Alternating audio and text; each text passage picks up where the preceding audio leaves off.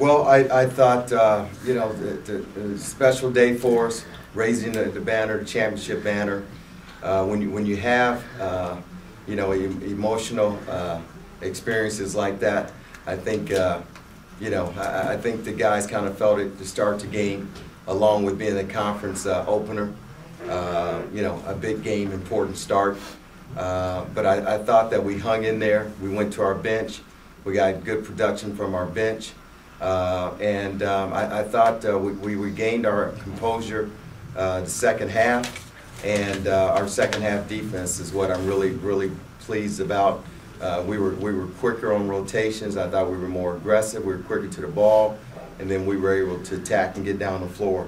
Uh, we're we're good in transition, and um, I think that all came into play the second half.